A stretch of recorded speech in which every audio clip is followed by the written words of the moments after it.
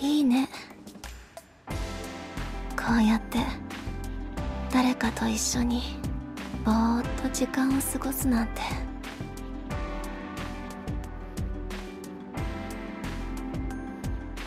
ほとんどしたことないかも。そう。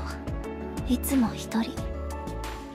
別にそれでいいと思ってたし。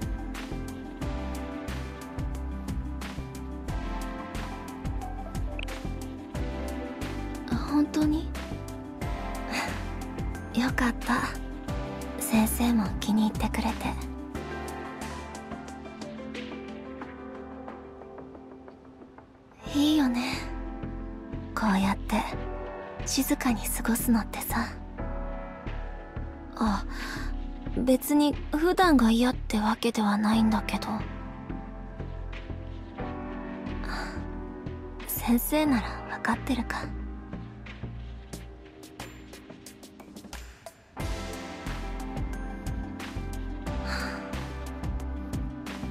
あのさ少しだけ。もう少しだけここにいて。